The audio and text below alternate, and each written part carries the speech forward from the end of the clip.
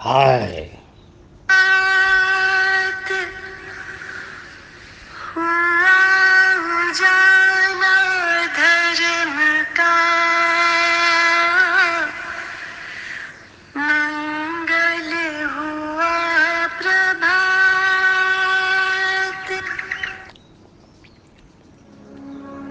हाय दोस्तों मैं आपका दोस्त डॉक्टर सच्चिदानंद पुलेकर बोल रहा हूँ।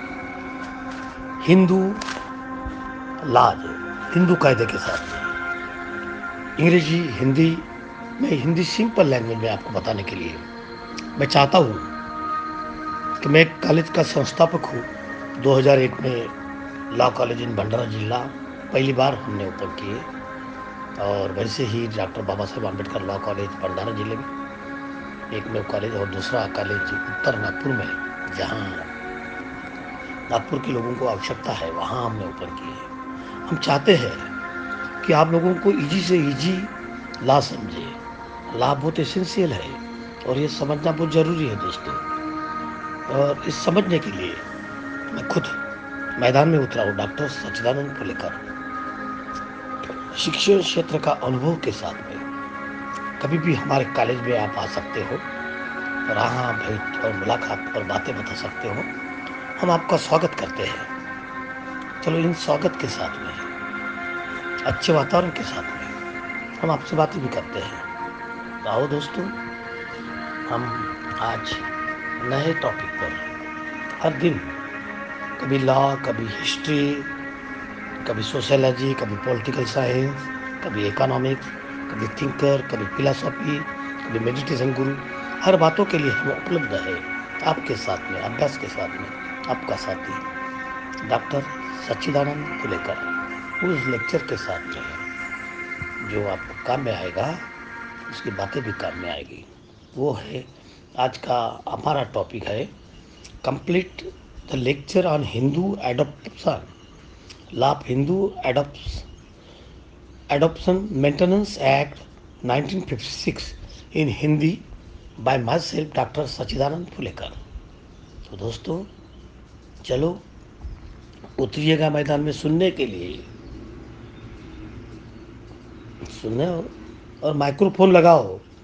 माइक्रोफोन से ये फ़ायदा होगा कि आपके जल्दी समझ जाएगा। हेलो तो welcome welcome to this subject तो in the we will discuss the law related Hindi adoption in दिन adoption in this video we will discussion introduction of adoption essential element of adoption, who may take a adoption, who may give in adoption, who may taken in the adoption, important case law. तो दोस्तों तो दोस्तों all important case तो start करते हैं the law the laws relating to adoption and maintenance generally depend on the personal law of different religion every religion has a own personal law एडसन और मेडसन का लॉ है, जो अपने अपने गवर्नर होता है। इंडिया में हिंदुओं के लिए जो एक्ट एप्लीकेबल है एक्ट इज़ 1956 हिंदुओं के साथ साथ जैन, सिख और बुद्धिस्ट को भी अप्लीकेबल होता है। Is basically contain the provision relating to the adoption of the children maintenance of the view children to agree parents etcetera Hindu adoption act में, हिंदू एडोपन मेंटेनेंस में सारे प्रोविज़न डिस्क्राइब किए गए हैं रिलेटिंग चिल्ड्रन के adopt के साथ में। वाइल्ड चाइल्ड और जो एजेड पायलट है उनके मेंटेनेंस के जो प्रोविज़न इस एक्ट में डिस्क्राइब दिए गए हैं। हिंदू एडोप्शन मेंटेनेंस एक्ट में चैप्टर जो टू है देन वो Hindu adoption the maintenance act है हमा section six seventy nine Hindu adoption maintenance में जो चैप्टर टू है, वो एडोप्शन के प्रोविज़न को डील करता है। कितने सेक्शन है? सिक्स और सेवनटीन है और जो चैप्टर थ्री है वो मेंटेनेंस से रिलेशन से प्रोविज़न करता है section eighteen to eight twenty eight तो इन टुडे हम we discuss about do adoption आज के वीडियो में हम सिर्फ़ सेक्शन सिक्स टू सेवनटीन का है, उनके डिस्कशन करेंगे. We will discuss the maintenance of the next video okay तो यू कम नाउ तो आइए दोस्तों दी एक्ट्स किस लोगों पर अप्लीकेबल होता है? जो हिंदू एडप्शन और मेंटेनेंस है, वो सभी इंडियन पर डोमेसियल पर होता है.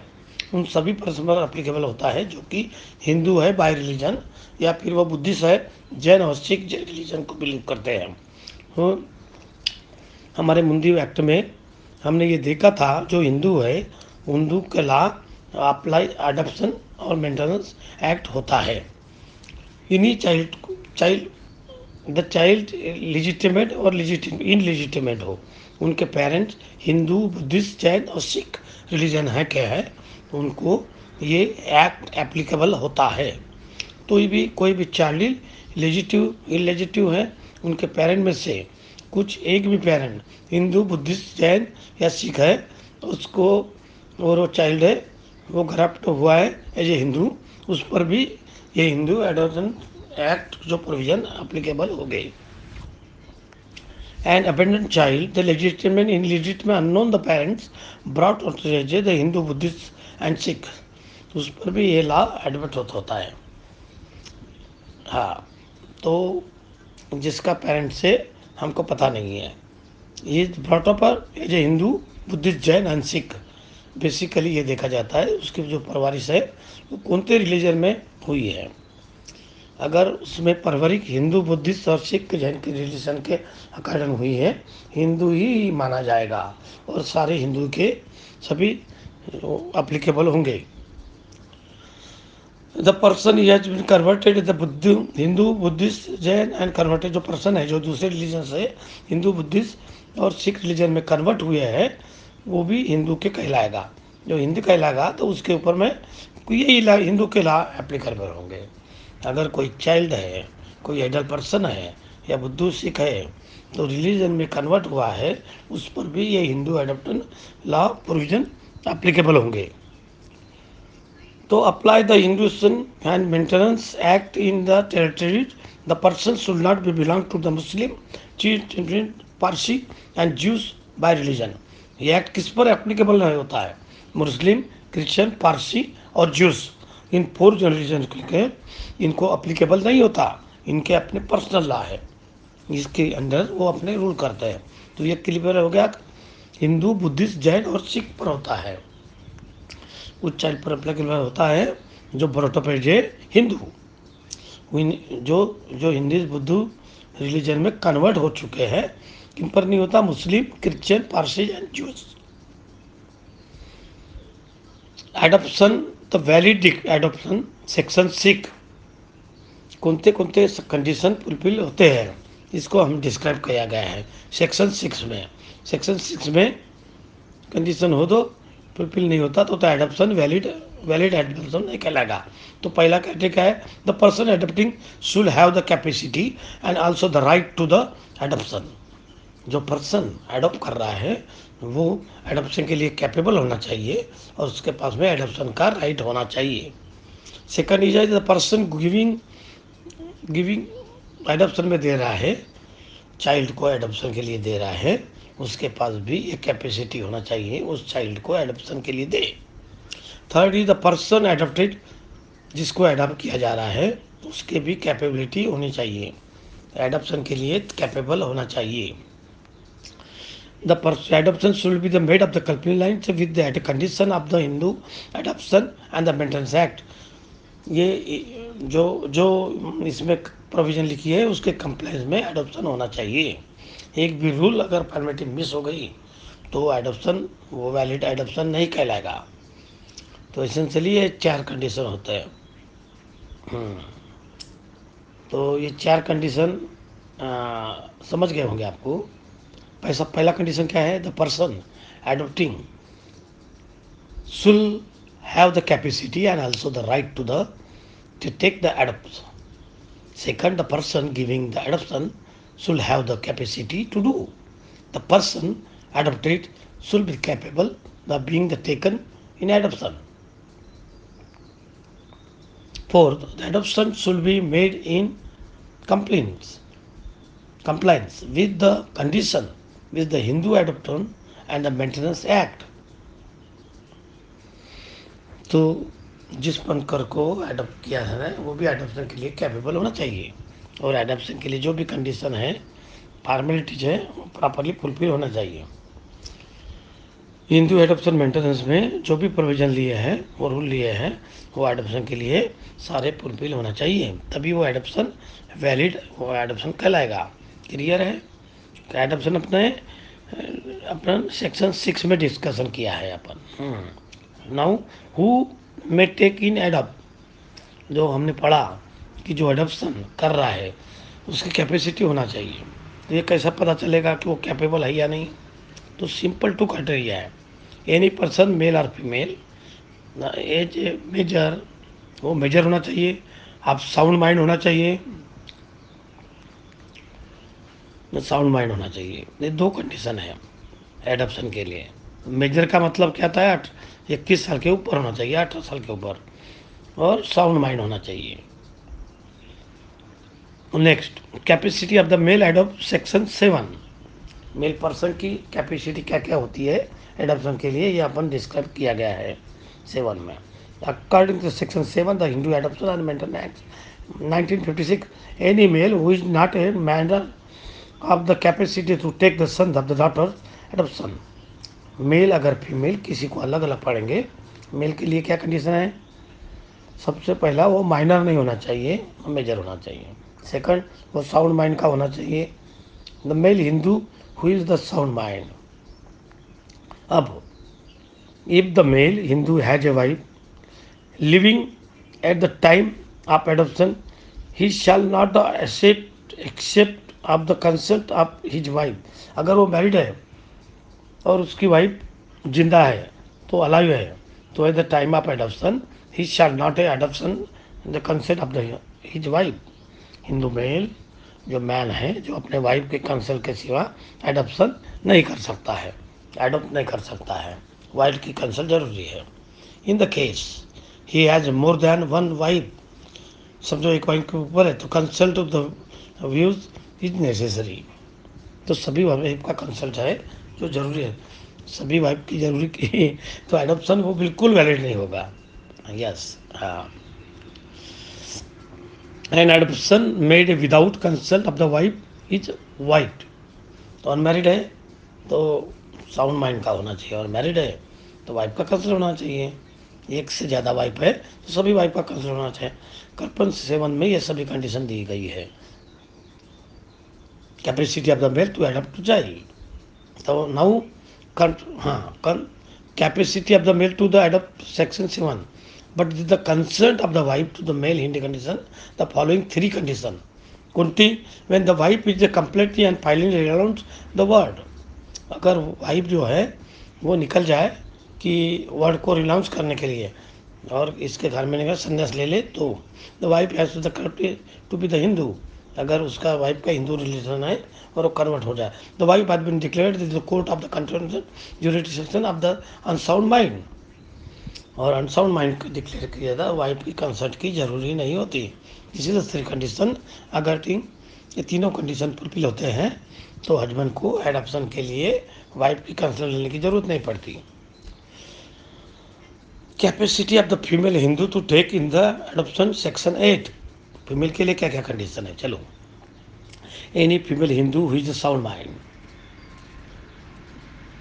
जब वो साउंड माइंड की हो, तभी एडप्ट कर सकती है। हुई नॉट माइनर और अनमेरिड है तो भी एडप्ट कर सकती है। विडो भी एडप्ट कर सकती है। अगर डाइवर्स है तो भी एडप्ट कर सकती है। अनसेट अनसेट वुमेन अनमेरिड और विडो वो भी कर सकती है। इनको Hindu adoption act act section act eight now अगर वो मैरिड है तो क्या? इफ़ मैरिड और whose married has been dissolve लेकिन उसकी मैरिजेबल है जो डिजॉल्व हो चुका है and divorce he whose husband is dead widow her husband will renounce word finally and consequently अगर उसका हजबेंड संन्यास ले चुका है तो her husband become a convert अगर वो उसका दूसरे रिलीजन में कन्वर्ट हुआ है तो तो भी वो एडप्शन कर सकती है। Her husband had been declared unsound mind and the court of the component jurisdiction has the capacity to take the son and daughter is adoption. The woman had no right to adopt during the substitution of the marriage.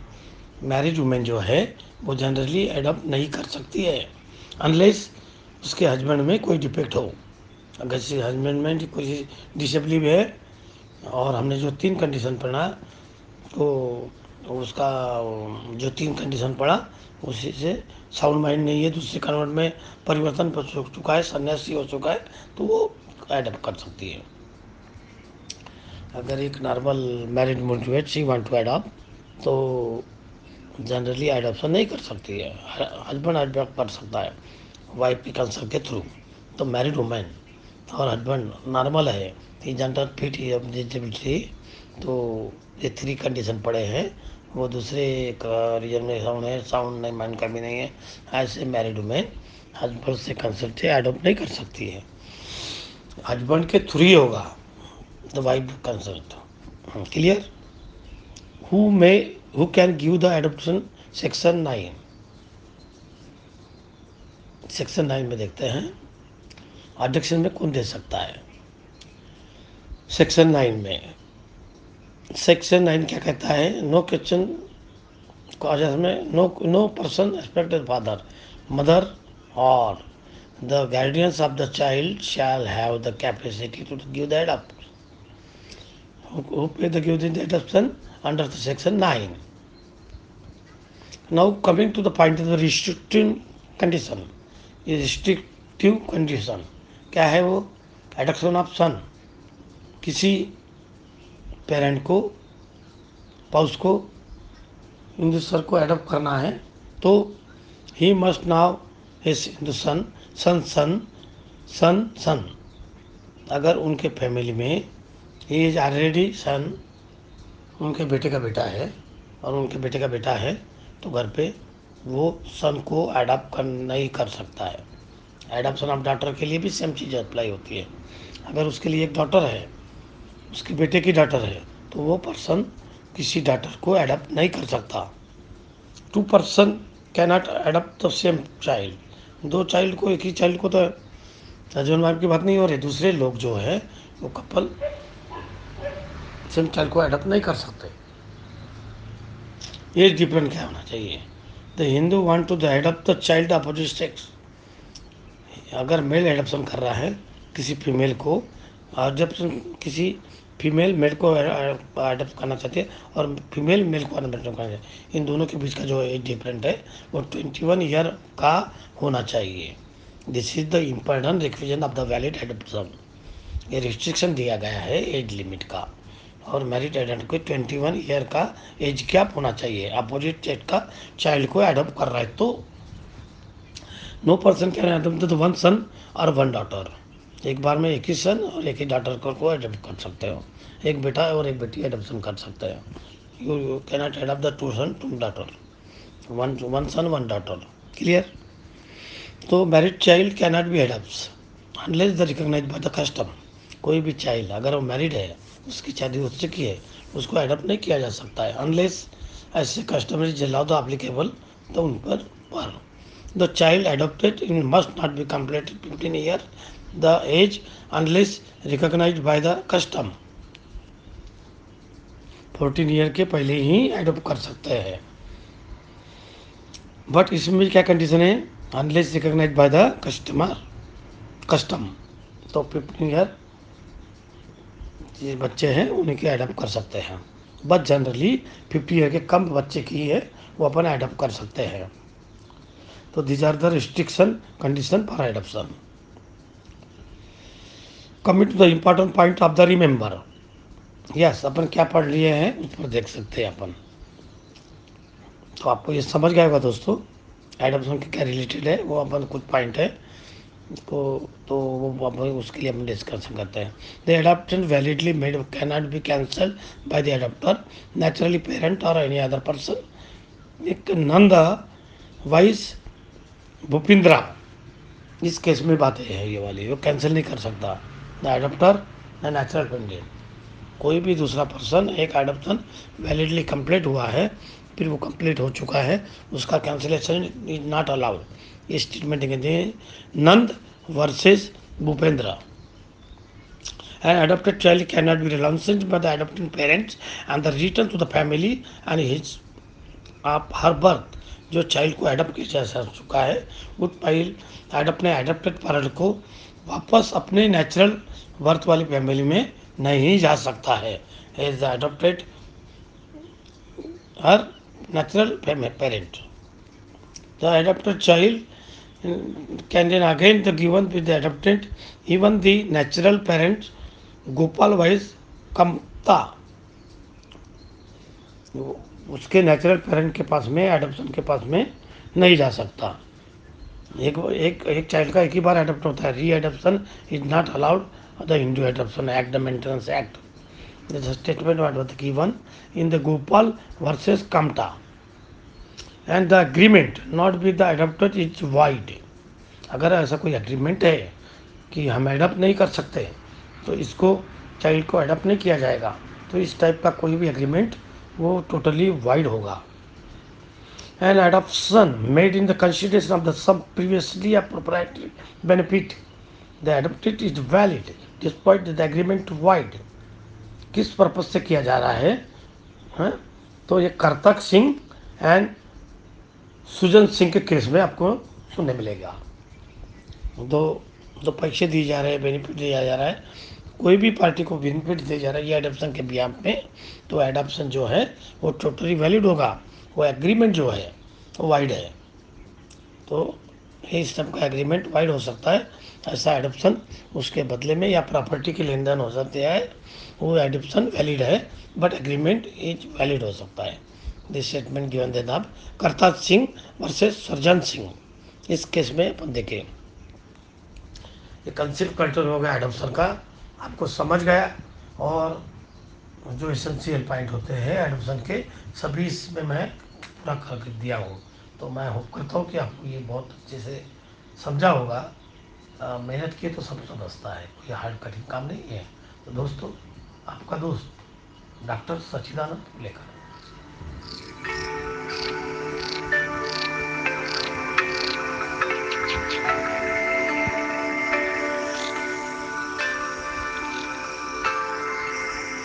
तो समझ गए दोस्तों, जहाँ तक आपको समझा और समझदारी के साथ में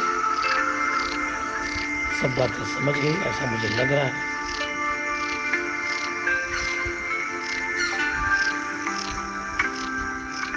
चलो मिलते हैं नेक्स्ट चैप्टर में।